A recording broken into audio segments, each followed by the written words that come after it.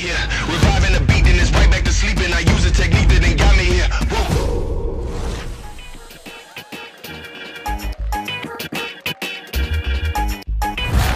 It's a donk versus lowrider playlist we talking about.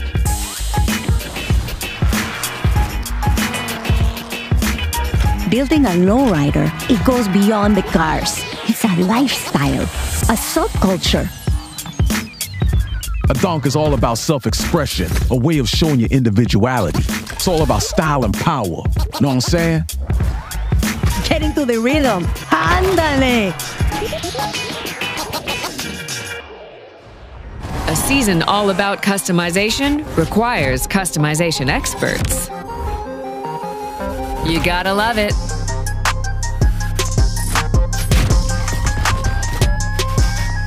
It's an island exhibition and a Restomod paradise.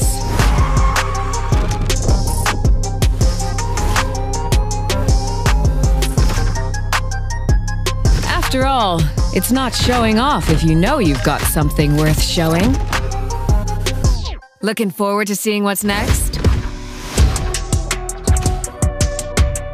By now, it's clear. Japanese custom is back in style,